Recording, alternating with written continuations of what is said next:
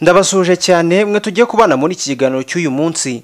Nitwa Samuel Mugisha njyewe uri kumva kuri mikoro uyu munsi kimwe mu bintu bihangayikishije bamwe mu basore bafite intego z'ubuzima zikakaye.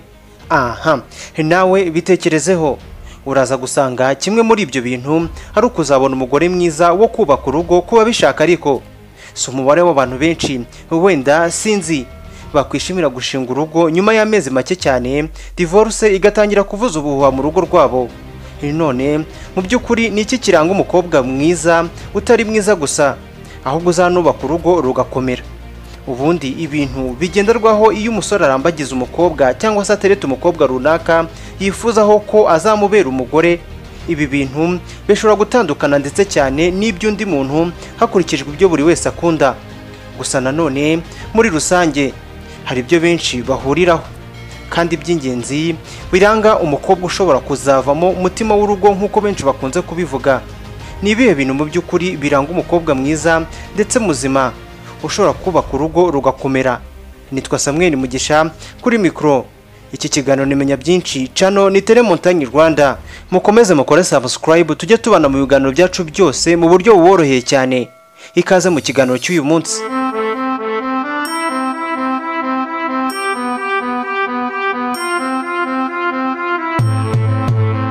Uyu munsi buri munsi ku isi hari abantu bashyashya binjira mu cyiciro cy'ubugimbi n'ubwangavu bavuye mu cyiciro cy'abana bato.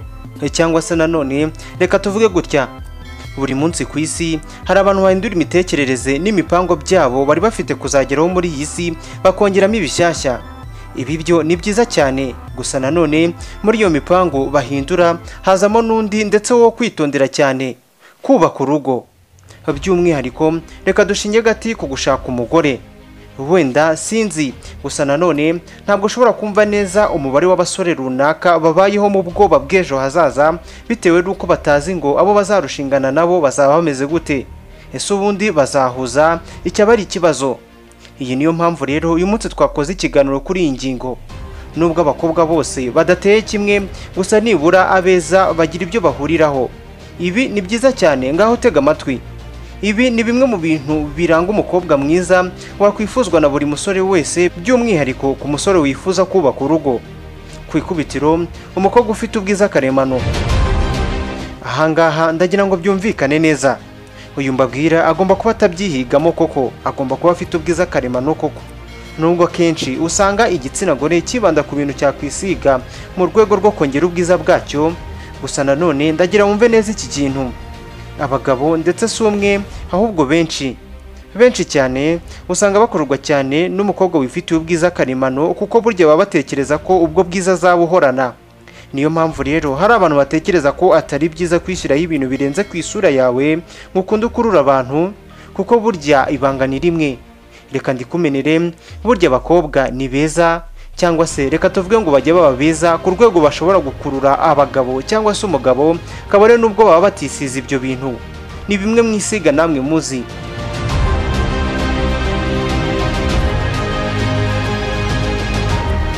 Hanyuma noneho umukobwa ushikama kuwo ari we uyu nawe arakundwa cyane. Burya umukobwa utajahagurika cyane ngo yerekane impinduka kuri we za hato na hato. Usanga yishimirwa n'abasore cyane. Hari abantu batekereza ko impamvu y'ibi ngibi hari uko abasore baba batekereza ko iyo mico idahindagurika iba iranga uyu mukobwa. Baba batekereza ko itazigera ihinduka.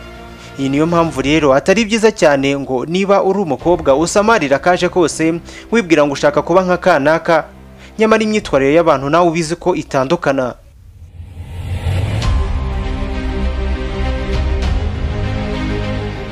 Umukobwa utaba nyambere igihe cyose ahamagara umuhungu. Reka mbivuge gutya.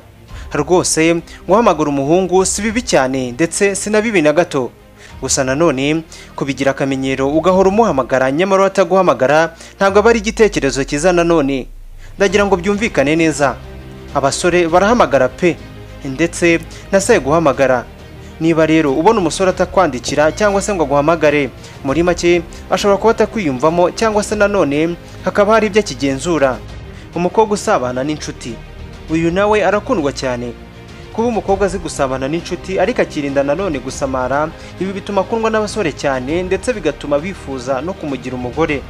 Impamvu y'ibi ngibi hari abantu batekereza ko abasore baba bumva ko umukobwa nk'uyu nguyu ngo azajya ashobora kwakira abashyitsi neza inshuti ndetse n'umuryango utawibagiwe ubundi urugo rwabo rukibera nyabagendwa mu bintu bigenderwaho iyo abasore bahitamo abo bazashingana urugo reka mvuge n'iki ngiki ntarakibagirwa ari na cyo kigiye kutugeza ku musozi w'iki kiganiro.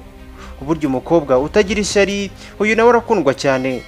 Umukobwa ugira ishyari akenshi usanga arangwa no kugira umushiha kandi no kubana n'abandi biramugora cyane kuko aba yumva bafitiye ishyari nyine. Umukobwa rero utagira iyi ngeso arakundwa cyane kuko abasore baba bumva ko iyo umukobwa nta shyari agira ubwo nyine aba anyurwa n'ibyo atunze. Ibi rero ni na byo bitanga icyizere kuri bo bakumva ko igihe bazaba bari kumwe n'uyu mukobwa bazaba batuje bakanyurwa n'ibyo batunze. Ibi byose tuvuze hejuru ni bimwe mu bintu biranga umukobwa mwiza w'icyitegererezo wakwifuzwa na buri musore wese gusa nanone birashoboka cyane ko habaho umukobwa ubyujuje byose hakabaho ufite kimwe muri byo. Cyangwa se nanone hakabaho n'umwe udafite na kimwe. Gusa nanone ntukibagize ko nta nkweto ibura iyayo ni umugani. Ibuka gukora subscribe tujye tubana mu biganiro byacu byose mu buryo bukoreye cyane. Channel ni Montagne Rwanda na Samuel Mugisha. Tuzasubira ubutaha.